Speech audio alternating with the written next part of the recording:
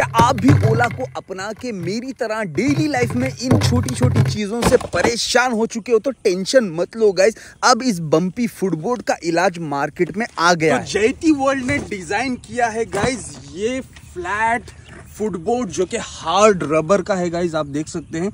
ये ओला पे आसानी से आप इंस्टॉल कर सकते हैं और उसके बाद में ये जो ओला का बम्पी फुटबोर्ड है ना इसका प्रॉब्लम सॉल्व मैं अभी आपको क्विक यहाँ पे एक डेमो दिखाता हूँ। ये कुछ इस तरीके से यहाँ पे बैठ जाता है गैस और देख लो फ्लैट हो गया आपका फुटबोर्ड ये बहुत ही मज़बूत है गाइज़ आप देख सकते हैं, मेरा 80 किलो का वज़न ये आसानी से झेल रहा है।